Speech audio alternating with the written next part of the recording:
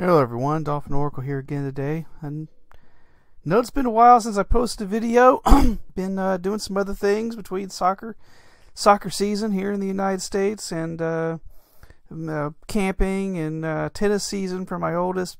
Been a very busy Dolphin Oracle, so had a chance this morning to show you off a few th new things that have been coming down in the updates with MX15. Uh, some will come uh, there's been a few new apps. Uh, let's open up the MX tools. And we'll check them out. The first is MX Repo Manager. Now, the Repo Manager lets you change your default sources for MX from any of the mirror servers now that are around the world. Now, a few of these came out after the initial release of MX15. I think, if I remember correctly, New Zealand um, may have came out afterwards. Uh, I believe there's also, uh, at any rate, uh, there's you can switch between those and it'll change your sources, uh, your default MX sources. You can also check out the individual sources and look at each individual repo that you have enabled or disabled. This is analogous to oh the sources utility in Ubuntu or looking at the Synaptic repositories option.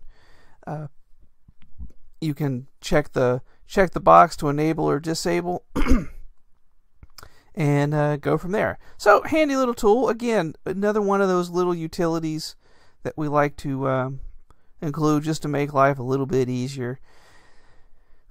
Uh, that is the only new one that is in MX Tools. Now, that is not to say that other things haven't received updates. Uh, MX Package Installer has some new packages in it since installation.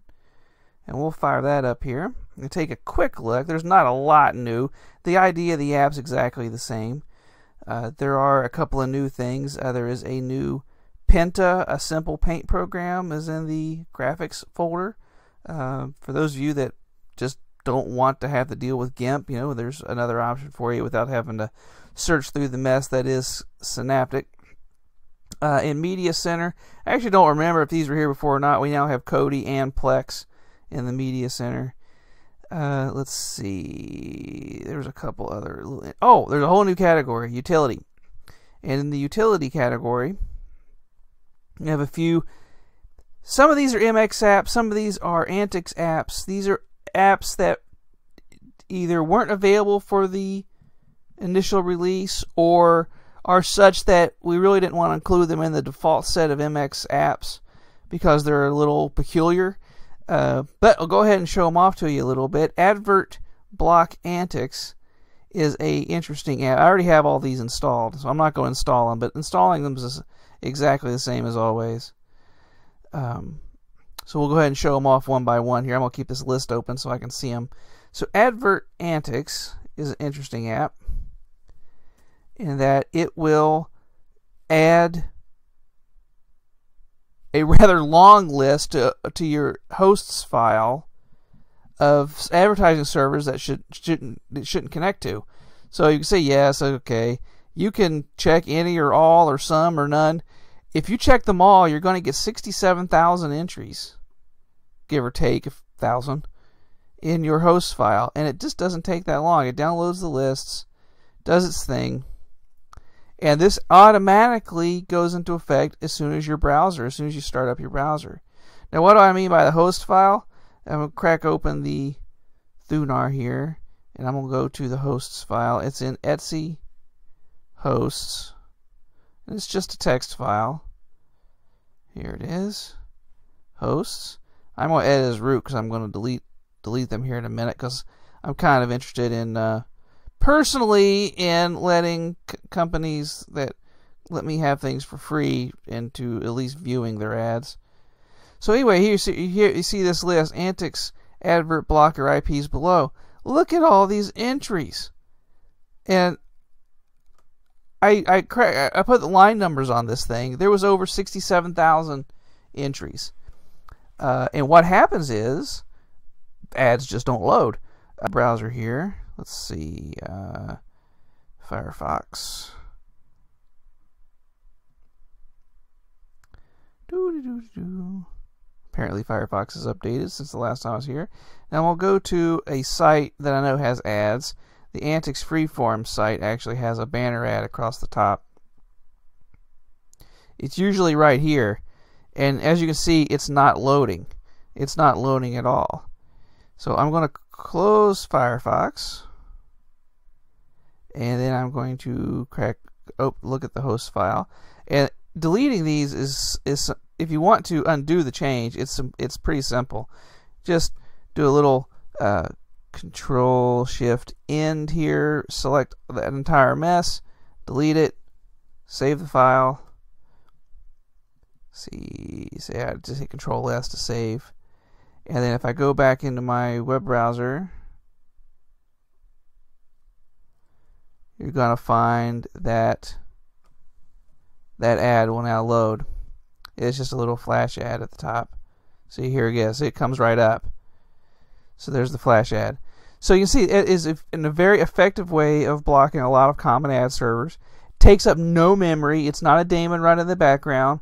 the only trick to it is you just need to uh, run the utility. If you notice ads starting to pop up, you just need to rerun the utility. It's no problem.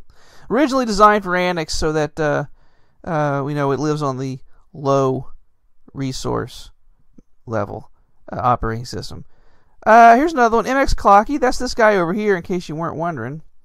Uh, it's an interesting little app. You can see there's a little MX icon in here, but it's just a desktop clock. You can there's uh, about a bazillion themes for it. This one's the the default, but I, am kind of partial to uh, some of these others. You can hit a preview before you apply the change to see what it looks like. And if you hit apply, then there's your new clock face. So some of you like a little desktop bling. That's kind of cool. Uh, MX Test Repo Installer is a handier app than you might imagine. It is a installer just for the test repository. So anytime that you're looking for an app, and you go into the forums, you say, hey, can you get this app? And they say, hey, it's in the test repository. Well, you could either go through Synaptic or MX Repo Manager and enable the test repository and open up a Synaptic, and it's just mixed in with everything else. Or you can open up MX Test Repo Installer, and you're going to get just the apps that are in the test repository. Uh, there's a lot of them. There's about, last time I counted, there's about 700 or so. Uh, that includes libraries and dependencies and such things like that.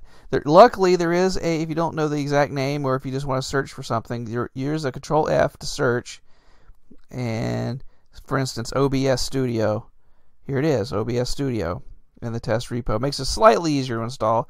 One of these days, this will get moved over into the main repository, but they keep updating the thing, so uh, we just need some people to try it out, which is one reason for test repo installer to be here is that we hope it's easier for people to try out test apps without accidentally leaving the test repository open during a dist upgrade during a system upgrade that that personally I feel can cause problems um, for any distribution to have its test repository enabled all the time. Some people do it all the time, no problem.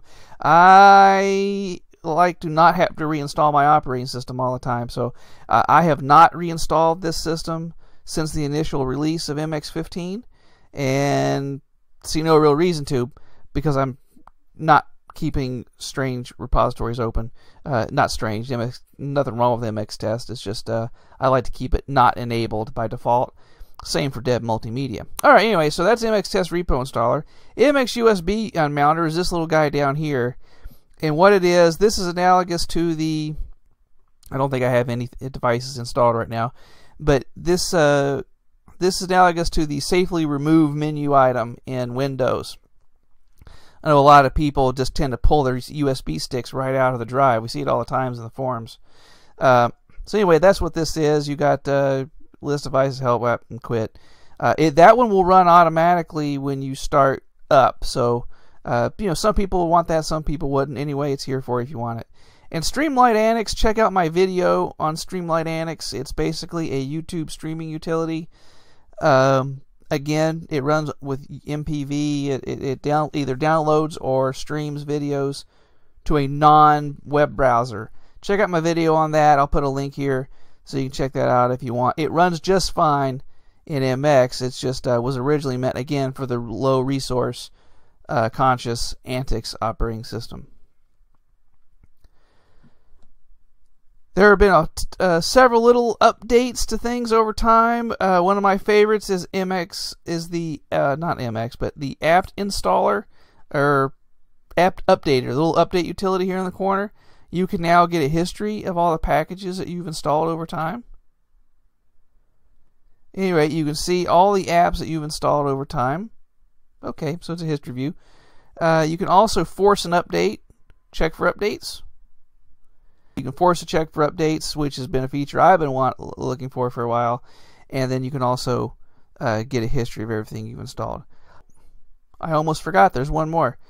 Yeah, it's not in the tools because it's a, it's a, it's in the system menu. MX System Sounds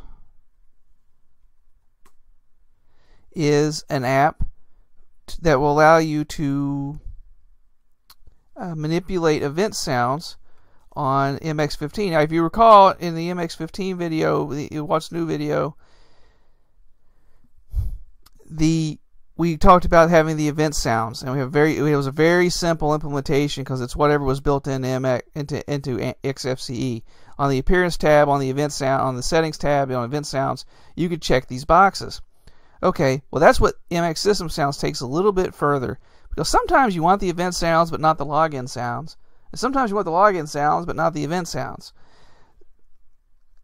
Okay, well, this will do that. Oops, I just off stream. So you can click, you can you can uh, you can enable the bleeps and blops event sounds. You can enable just the login logout sounds. You can play a custom sound, or you can choose a sound, any sound you want. I've got this Native American flute. But uh, if you click this button here, this actually will take it back to whatever the theme default is. You can't hear the sounds the way I've got my audio set up, but this is the default Borealis logout sound, and this would be a a, uh, a Native American flute composition put together by forum member uh, Eno or Ino. I'm not sure how to say his name, E-I-N-O, but uh, uh you can also choose a theme. I don't have any other themes installed, but there are a few themes in Synaptic, and I suppose you could create your own if you really wanted to. XFCE's event sound support is very rudimentary. That's why uh, we put together this app so that you can have. You don't have to enable the event sounds to get the login and logout sounds now. That app and MX Repo installer or MX Repo Manager should come down automatically in your system updates. The other apps are available in MX Package Installer. So that's just a few of the new apps available since MX15's release. For tips, tricks, how-tos, head over to mepiscommunity.org or throw up a post at forums.mepiscommunity.org. This is Dolphin Oracle signing off. Have a great day.